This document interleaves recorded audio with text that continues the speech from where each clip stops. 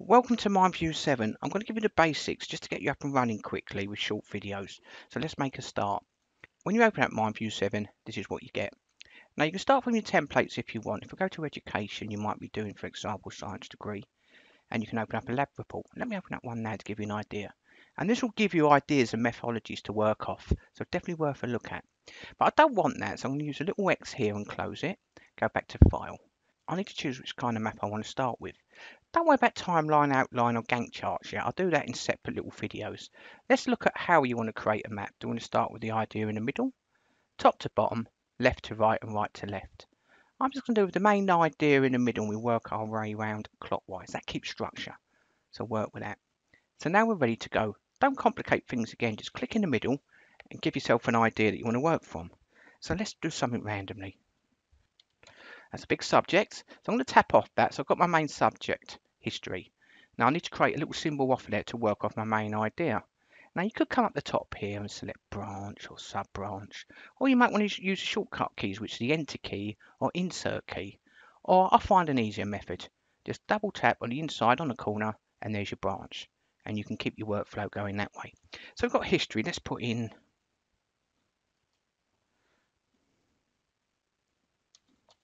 So I put in early dinosaur age. Now, if you get a spelling, do a right click on it, select corrections, and you can change the spelling in seconds.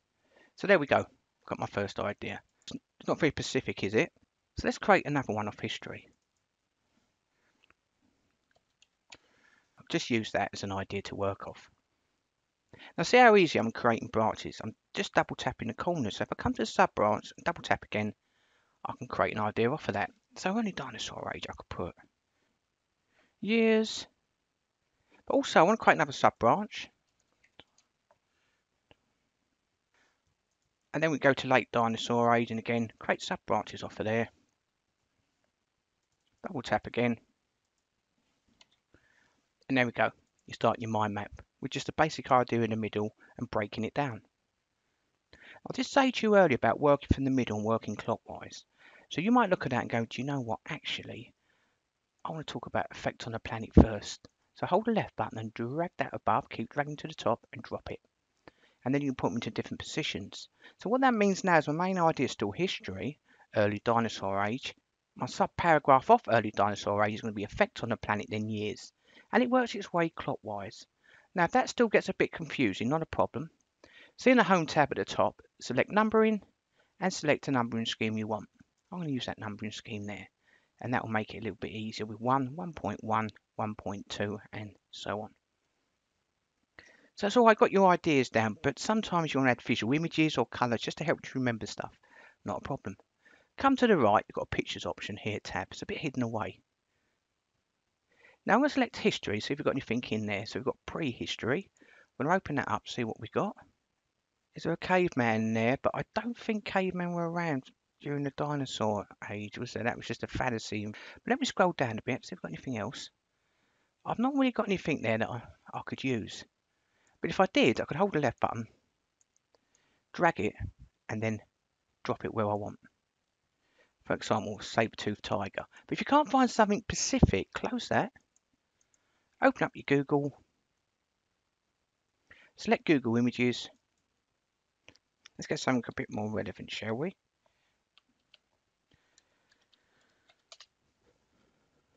Right, let's look for something really ferocious, that'll do. So I'm going to right click and select save image as. Or if you don't want to save the image, why not just copy it? So I'm going to do left click copy image, open up my mind map and choose where I want to paste that. So I don't want that anymore. So I could do a right click on it and select delete. If I now right click on it again, I can now paste that image with paste. Hold the left button and drag that image bigger so you can see it much better. And there we go. That just helps with the visual mapping. It's not something you have to use, but it can be really helpful, especially for revision. Also, you might want to use colours. Well, not a problem. Let's go to the top here. So you have to click on what you want to, you have to click on the symbol first that you want to change colour or settings to. So if I select effect on the planet, when I click on this, look at the top. If I select years, see sub branch at the top. So I want to select format and now I can change all the settings for that option, including font, size, even text color. If you come to the right here, you can change the colour scheme. Effects on planet, something I need to work on. I'm going to make that red. Or you might actually change that, guys. I'm going to make that more of a yellow colour. I need to do more research on. The choice is yours. But don't get too bogged down with the colours because you start forgetting what they represent. But there again, if you do use the colours, it's a good option I'm going to show you. Go to View. If you can't see this Legend option here, select Simple Interface. Now I'm going to select Legend. So if I hover over it and select Plus, and I'm going to add a colour. But I want the exact colour we got on the effect on the planet, so I'm going to use my little painter tool. Tap on it, then click OK. I've now added that colour up here, and I could say that that means that means more research. So you can create a legend of colours. So that will help you keep you organised. But without dragging out this quick video tutorial too much, I'm going to go through all the settings. We're going to go back by clicking on effects on the planet and format. So we've changed the colour. Again, you can do branch shapes if you want as well. But if you're into certain colours, then you could add you could add colours here if you want specific colours, or even go for a gradient colour. So you might go, actually, I want a tint of red there, give it a bit more of a fiery look. Also have the boundary option. Let me select early dinosaur age. I'm going to select boundary. You see that little boundary going around it? You want to create a boundary for a number of reasons. It could be to separate specific information or stuff you might want to work on. It's entirely up to you. But I'm going to add a fill colour and just going to add a pastel colour here a bit so it's not too bright. There you go. And you can change the outline colour as well if you really want it to stand out. And there you go. We're creating a map within what? five, ten minutes. But one important thing missing here is adding the information into it, which obviously is imperative. So come back to home. Now I'm going to click on Effect on the Planet. I've got an option up here called Text Note. You can use the F8 key if you want as well to enable that. I'm going to select it. Because I've selected Effect on the Planet, it now brings up this text note editor, which I can now start adding information. So I could type it in, but if I didn't know, you need to do a bit of research, don't you? So I'm just going to put dinosaurs effect on the planet. I want to choose any link. I'm going to try and stay clear a bit of Wikipedia, which you can understand. And there we go. So I've chose the BBC. And I'm going to look at that and say, actually, I'm going to use that. So I'm going to Control C to copy that. Go back to my mind map, and I'm going to paste that in. Obviously, if you are sourcing something, Obviously, you're taking something off the internet or from somewhere. You have to be careful of plagiarism. So you've got a built-in referencing system in MindView. And I'm going to be honest with you, it's not that accurate. So be very careful with reference style because you are limited to reference styles. But I'm going to show you anyway. Because we've opened a text note, look at the top we've got here, citation. Select it, and we need to select manage sources because we need to find a source. I'm going to select add new source. Now we come here, it's asking what type book, films, or journals. Now, if you had a book, you could put the ISBN number in here of the book, just the number, don't worry about the letters, and then that will find the source for the book for you. Again, if you've got a journal number, you could add that in as well, which is normally the DOI number. But I've got a problem. I've got this from the website, there's no option, so I've got to go to manual entry mode.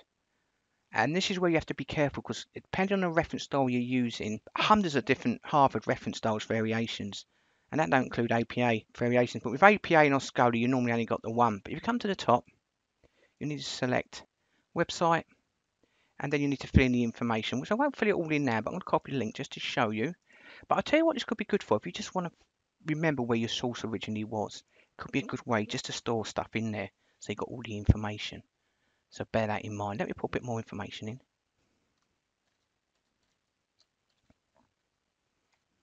That'll do just as an example. And obviously if it's a website important, you must do year assessed, month assessed and day assessed. I haven't filled it all in, but I'm going to show you. So there's the actual source. Click OK. But you'll look at it and go, well, look at the bottom there. It's not added it. Why not? Because once you've added it, you need to insert it. So select citation, insert citations. You can now see it. Now you've got the option of inserting it. If it's a book, you then need to add the book at the page number here. But as it's a website, I'm just going to select insert and there you go it puts it in there for you so be careful with that I'd use that just to remember where your sources are rather than bookmarking them in a browser close a little X see the paperclip we can now access it whenever we want and there you go you've now structured and organized your information If you want to send that to Word, not a problem. If you want to export it, go to File, Export.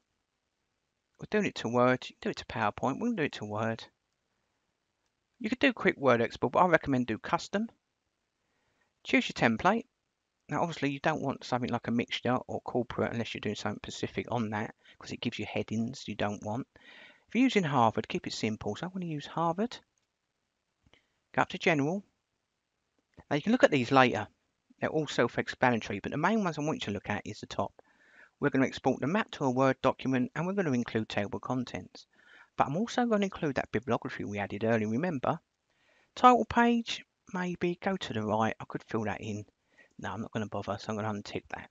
Again, any text notes you've added or branch pictures you can choose to include or not when you export it.